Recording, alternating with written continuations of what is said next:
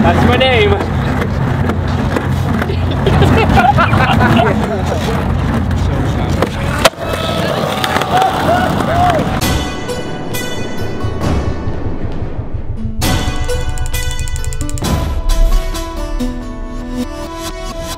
The main question is, in skateboarding, does style matter more than skill? The answer could go on forever, so I'm gonna try to keep it simple. Yes. Hell yes, depending on what you're trying to achieve. If success to you is being popular faster, making more money quicker by riding a skateboard, then style will take you there faster. But not even necessarily your style in skateboarding. Style to a lot of people means the way that you look while you skateboard, aka your fashion sense, but to me, skate style and that kind of style is a completely different thing. I'm realizing now that this video probably has to be broken up into answering two different questions. What is the difference between style and skate style? And the other one is what are companies and audiences looking for in a skater? We also have to find Jon Reyes.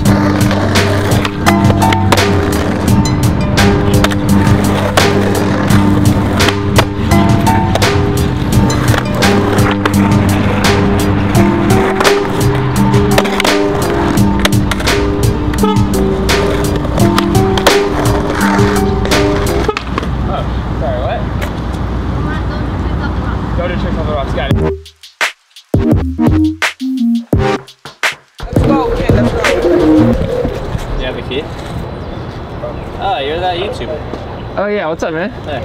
Are we not allowed to do this Oh, today? yeah. I was here to skate. Depends what's going on. Oh, that's cool. fly off and hit one of my guys. What am I gonna say? Oh, I opened it and loaded the plane and said that's where the guy got injured. What? That's violation, bro.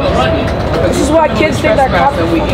No, but you're doing what you're not supposed to do. If you listen, then we won't be acting like this. Apparently they were cleaning the skate park and a few skateboarders went in there anyways just to ride around. So they called the park police who I think also tried to call the cops on the kids for being on the property without permission. LOL, my friend.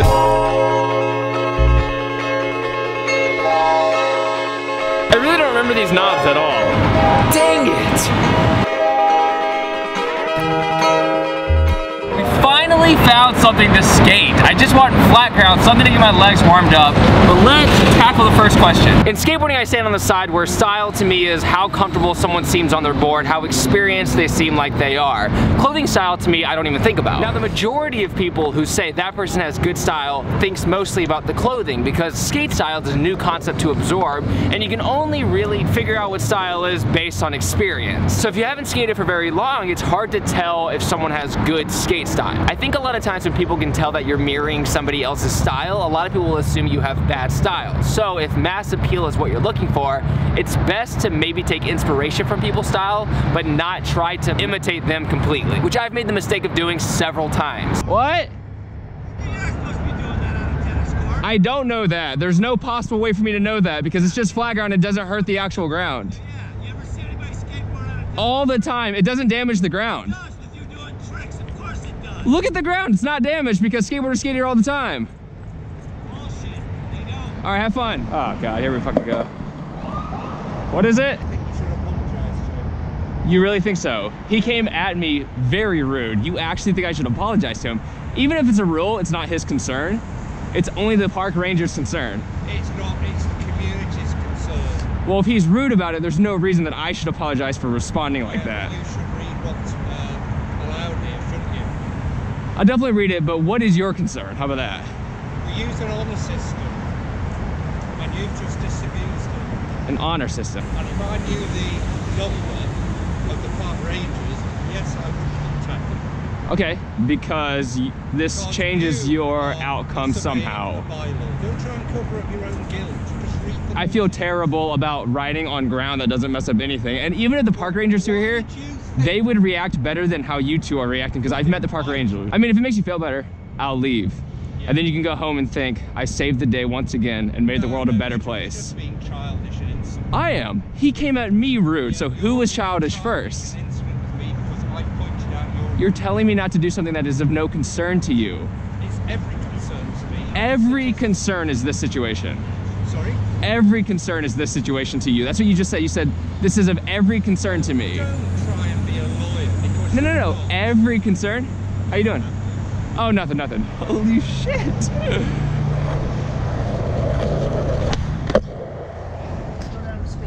What's that? You have to go down to skateboard. Okay, cool. No worries. I, they'll give you a ticket. Okay, no worries. Yeah, yeah, of course. Yeah, take care. My remote just died. Really? Jon Reyes just hit me up and was like, come down to Battery Park. And I was like, okay. And my thing died. So now I can't make it another mile down this road pretty much because this thing, never mind, I'm tired of getting kicked out. I need a sure thing. Oh, Jon Reyes, where you at? We near Freedom Tower. I see Freedom Tower, but I do not see we. Hey, dude. All right, later, man. trying to find you, but not moving.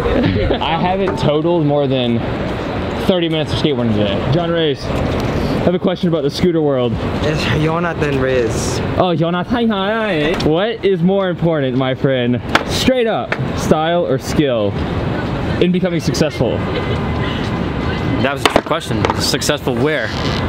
That's a good question too. See, there's like so many variables that it breaks down into. For me, it's working with skill, but it might have worked better if I just like Oh, that's what I'm saying. That's what I was trying to talk about. I was basically saying if you want to become successful more fast in skateboarding, then it's better sick. to Yeah, you have to be sick.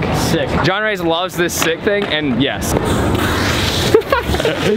so just faking it. Like that would do double the views on Instagram. It's almost like fake style is better than anything else. We'll take you farther. Like you're in the ocean, but you're clearly on concrete.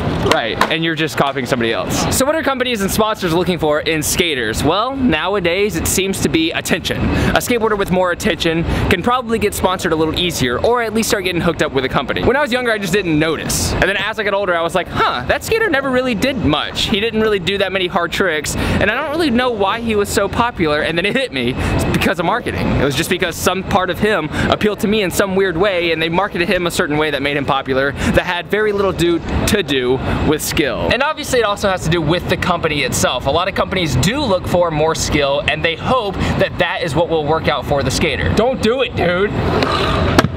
And Mike Carroll from Crailtap, Lakai, Slash Girl, all those companies said that he's just looking for somebody who's cool, somebody you can hang out with. And I think at the end of the day, everybody now who would start a company watching this would think, oh, I'd love to sponsor my friends. I would like to just get paid to hang out with my friends and ride skateboards all day. And I think a lot of companies do that, and then people get upset because they're like, I want to ride for your company too, though. And they're like, well, we didn't start this to sponsor everyone. We started this because we wanted our friends to have a way to ride forever, but now we have a business, so how do we move forward? The truth is, it's a very confusing business. It's very subjective, and a lot of people are looking for different things. But it does seem like caring about your personal fashion style seems to be carrying skaters farther. That does kind of rub me wrong. You gotta call a bunch of, I guess it's you guys, a bunch of skateboarders. This Okay. location here, it's like sense of location. They don't want people like running. Cool, no worries.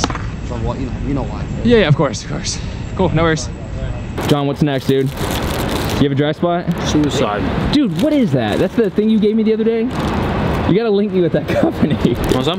Yeah, that was you. that was mean. That was hard. That was mean. Hang me off your bedpost. Too many people. It's warm like I used to be like. Oh, I've never seen this. You're not hanging with the scooter dudes, dude. That's true, dude.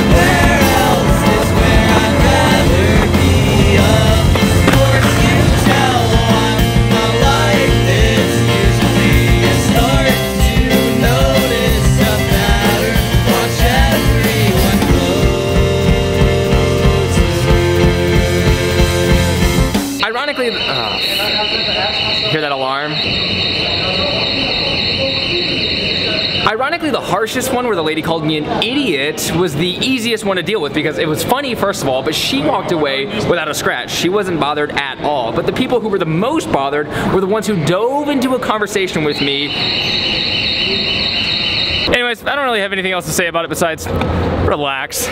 Life's chilling. We're all very lucky and blessed. If you're sitting here watching a YouTube video right now, you have so much more advantage than a lot of people in this world who don't even have Wi-Fi, my friends. And on that note, guys, I'll see you later for another video every Monday, Wednesday, and Friday. Thank you so much for subscribing and liking these videos and everything you do. Guys, humans, aliens, whoever's watching this, I love you so much. Progress daily and keep killing it.